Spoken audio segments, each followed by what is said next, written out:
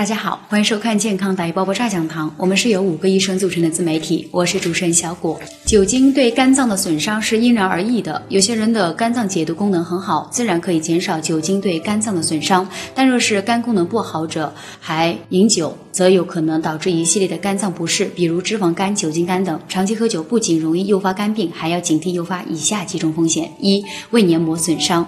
长时间喝酒肯定会损伤胃功能。酒是一种刺激性极大的饮品，当酒水进入胃后，就会对胃黏膜造成刺激，长此以往便容易引起病变。尤其是喜欢喝烈酒的人，肠胃更容易受损，比如出现胃炎、胃溃疡等。因此，本身就有肠胃疾病的患者一定要尽可能的避免饮酒，尤其是烈酒。二、胰腺炎，胰腺炎是一种极为危险的病症，严重时甚至需要进行手术才有可能控制好病情。而长期过量饮酒，便有可能诱发胰腺炎。有数据显示，不少常年饮酒之人都患过酒精性胰腺炎，因此一定要引起重视。